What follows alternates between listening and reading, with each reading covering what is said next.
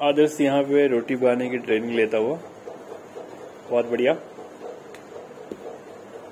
बहुत बढ़िया। ज़्यादा ज़ोर मत लगाओ ना धीरे से। अब इसको तुम खाओगे इधर मोटा है इधर तक लंबा कर दे रहा है तू उसको। बहुत बढ़िया। जिस तरफ़ को छोटा है उस तरफ़ को बेल को घुमाओ। धीरे धीरे जिस तरफ़ को छोटा है उस तरफ़ को लंबा कर। लो। ऐसे में। अब चलो।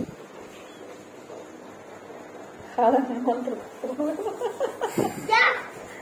बीच बीच में क्या कर लंबा उसको करना? बीच उसको हाँ। बीच में मंत्र भी बस। और थोड़ा सा। ये। गुड। तुमने रोटी बना दी यार। और उसको हाँ, हो गया हो गया। है ये तो बहुत अच्छा हो रहा है पराठा टाइप का बन गया है।